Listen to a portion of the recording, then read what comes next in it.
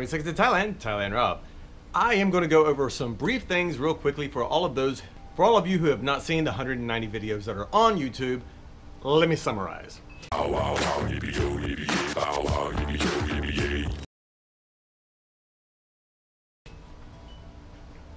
Back in 2015, I got fired, didn't have a girlfriend, I got kicked out of where I was living, and a couple of few other things. So what did I do? I bought a one-way ticket to Thailand. I moved to Thailand with a one-way ticket.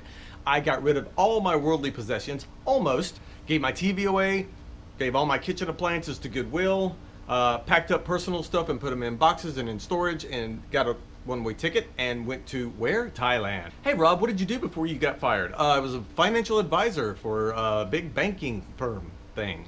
Yeah, good job. It was great. Really missed those guys. Not at all. Rob, have you ever been married? Nope. Do you have any children? I have one son, but he is 22 years old. So he's a son, but he's a man. And he works. What kind of visa did you get, Rob? What kind of visa did you get, Rob? What kind of visa did you get, Rob? Do you work in Thailand, Rob? Rob, do you work in Thailand? What do you do for a living? How do you make money over there? What's going on? Do you work? What is your what kind of job do you have? I got a tourist visa. You're not allowed to work in Thailand with a tourist visa. It says right on the tourist visa, cannot work. And no no work. I do videos, I put them on YouTube. I have people that support me on Patreon and PayPal. Speaking of which, this video is long overdue. Mike, Yari, Donald, Joey, Dan, Carlos, Adrian, Peter, Stewie. I just like that name. Stewie. Pierre. Oh, yeah, Pierre. Pierre. Pierre. Pierre. Sorry. Didn't mean to botch your name up. I'm trying to be funny. Didn't work. Nicholas, Gerald and Richard, Jasper, Mike, Tony, Simon, Mark, Dan, Bradley, Donald, Daniela, and Michael. To all of you who have supported me through subscribing, through PayPal, through Patreon, eh, all of that, you have made it possible that in one month it'll be one year that I've been in Thailand and made the 190 videos that are up for you to watch. That on average is about four videos a week.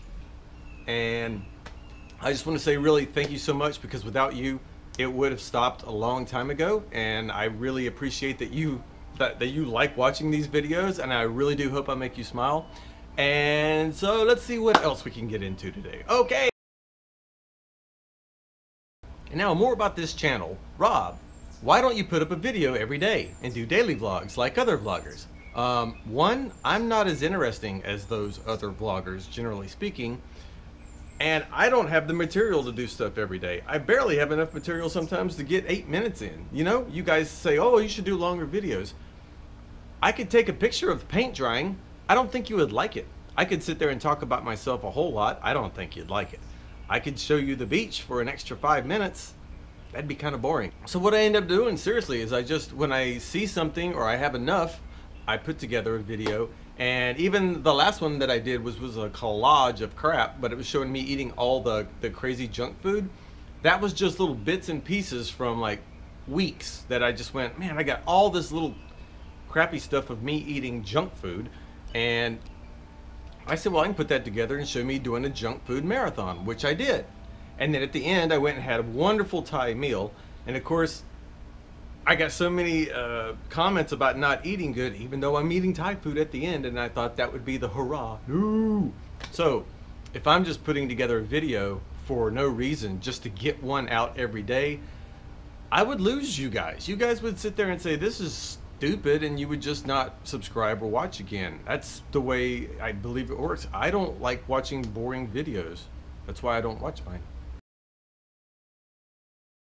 Why did you pick Thailand, Rob? Why did you pick Thailand? Thailand's inexpensive to live. They have beautiful women. The beautiful women end up liking the Ameri uh, the beautiful women actually like American men, just like the rest of the Westerners that are over here. I mean, they so why not? I came over here to go to Thailand for three months to take a break and figure out some things in life. I think we all should do that at some point. Some of, some people said I had a midlife crisis. I didn't have a midlife crisis. I just didn't know what I wanted to do next. If you had any clue of all the jobs that I have done in my past, which I will write a book on, none of them make any sense. In about every five years, I recreate myself. So this time, I guess we're into year one of YouTuber, and we'll see how this goes in the next four years, providing that I'm still here in four years. Hey Rob, why don't you have a girlfriend? Really? Okay. I'll answer this one again, again and again and again.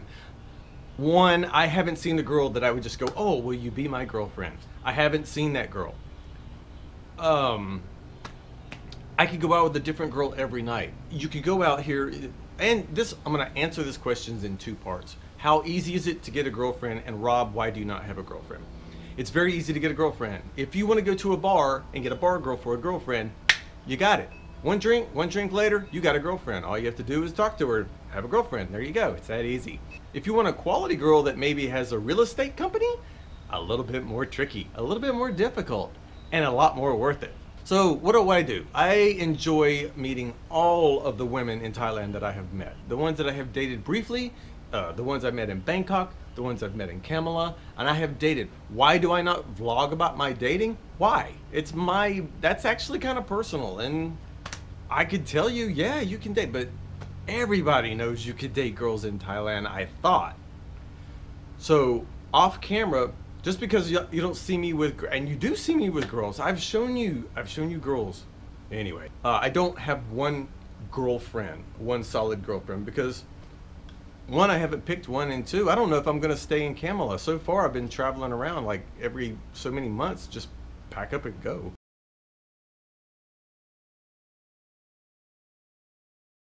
Visas, visas, visas. Everyone wants to know the visas. I recommend that you get your visa to come to Thailand in your country. That's my recommendation. Yes, you can get on a plane and come here, but if you come here and you get a visa here at the airport, it's for 30 days. If you get it in your country, it's probably for 60 days. So I recommend doing that. And look at the website in your country to get a visa in Thailand. You can ask me all the questions you want, but they change the rules every day.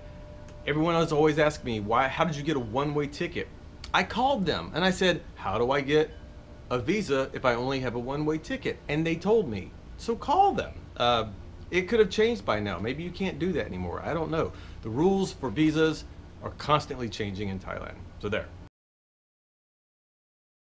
How long did it take me to get accustomed to the weather in Thailand? Well, for 10 years before Thailand, I lived in Sarasota, Florida. Sarasota, Florida's heat and humidity are very similar to Thailand. So it took me probably about two or three years to get used to Florida. In Thailand, the only thing I can tell you is turn the burner on on your stove, if you have a stove. Put your hand over it about eight inches above the burner. And that's the way the sun feels in Thailand. It's direct heat. I mean, when you walk out into the sun in Thailand, it it hits you. The other thing is you just get used to sweat. You're gonna sweat. You will sweat more. I've sweat more in Thailand than I have my whole life. Which brings me to another question. Rob, have you checked your health and blood pressure? Yes, I keep tabs on my blood pressure, which yes runs a little bit high sometimes because I eat junk food. Yeah. Uh, what else? Um, but I have since I moved to Thailand, I've lost about 20 pounds and my blood pressure went down because I did more exercise. It was hot, I lost weight, so a combination of both. Someone just said on a comment, we never see you drinking water. You drink tons of water over here. You go to the 7-Eleven store, the whole cooler on one wall is dedicated to water because you have to have your water here. I may not show you me drinking water all the time, but I'm constantly drinking water and beer and coffee and Coke. Okay, okay. Is the water dangerous? Oh, how do I answer this? When the water leaves the treatment plant in Thailand, it is pure, safe water. The problem with the water in Thailand is not the water. It's traveling through the old ancient piping system. If there is damage in some of the pipes going from point A to point B, it could be contaminated. So they say, don't drink the water, tap, don't drink the tap water in Thailand is what they say. And that's because all over Thailand, you've got some new plumbing and you have some old plumbing, and you don't want to be on your holiday vacation for two weeks or two months and come down with a stomach bug that's going to put you out of commission for a week. I mean, you just don't want to do that. So just drink bottled water. And all the Thai restaurants that I've been to, the ice that they use is uh, clean ice. The water that they use is clean water. They'll go get the big gallons of water and they'll pour it in the, yeah, you're, you're fine. I actually use tap water for my coffee, but I boil it in the microwave. I know it's terrible. I need a kettle, but I, that's I use tap water every day for my coffee. What about the mosquitoes? That's a whole nother story. Mosquitoes in Thailand are insane and they're small and they're everywhere. And can you avoid them? Yes, you can buy the spray or the lotion and they go for your ankles and your feet. Ooh, they love your ankles and feet. They get my arms too, but mainly the ankles and the feet. Uh, are they worse in some areas than other? Uh, yeah. I mean, when in, when I was in Bangkok, they had a they had a garden out back that had standing water with fish in it and stuff. That was worse. Mosquitoes bred there. If you're sitting somewhere in Kamala at the beach, it's it's not as much. You know, wind's blowing. You know, it's just it's just not as bad sometimes. But they're everywhere. They're they are everywhere. I usually get bit probably four times a day minimum. Usually, I'd say that's about right. But if you're one of those people that have that sweet skin or sweet smell to you, you're gonna get eaten up. I've, many have come over here and said it's just they get 20 some bites a day. I'm like, man, but that's not common. So just bring the lotion or just buy it when you get here. Spray it on. How often have I been sick in Thailand? Uh, I got, okay, when I first got to Thailand for the first week, my stomach was upset. That was after three days of being here. I ate or drank something my stomach wasn't used to, which I think is normal for anyone. So I had to go to the uh, pharmacy, which was right across the street, and I got some antibiotics, and I took them for four days, and I was fine. When I left and went to America and came back, the week I came back after that, my stomach was upset again. That was when I was in Pattaya, and I did. I got the antibiotics. It cleaned it right up. Uh, and one time I had a cold, and this was the weird thing. I got the cold, I had the sneezing, the runny nose, the sore throat, the swelling, the ears, the headache, the ugh. And in 24 hours, it was gone. I didn't take one drop of medicine. That was the weirdest sickness I had ever had. I got sick for one day, and I was completely over it by the next day. I, knock on wood, there's a doctor right in Kamala, but I haven't had to go see him thus far, hoping I won't have to go see him. And even if you get the, uh, oh man, dengue fever, you're to go see a doctor if you get the dengue fever. It's just to be a hard week. It's to be bad flu. Yeah. I know many people that have gotten dengue fever. They don't they didn't like it. But I've seen one, you know, you can bounce back quicker from it, or it could be something that just gets you down for two weeks. So how do you do your laundry here? Uh, there's two different ways. For 30 baht, you can do a load of laundry, and then they may have a dryer. There some places have dryers, some don't. It's very common in Thailand for people to just hang dry their clothes.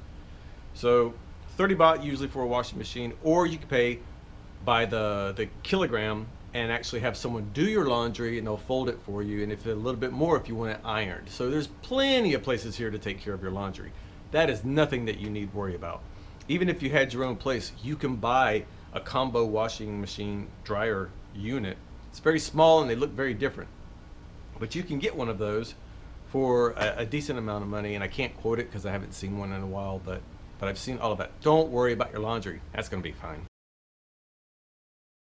And also to the fact that sometimes I make a video with older footage like the last one I did. Well, it's some people have said, okay, it was confusing because it was older footage. Well, let me explain.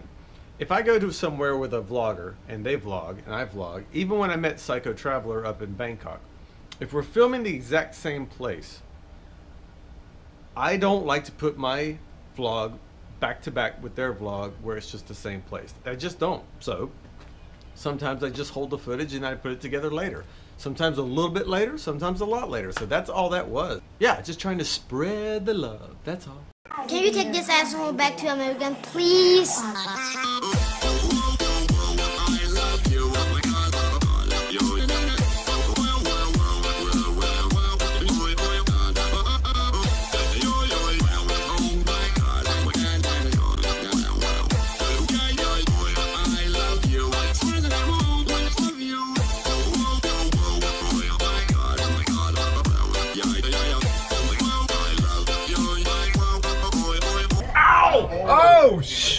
Oh,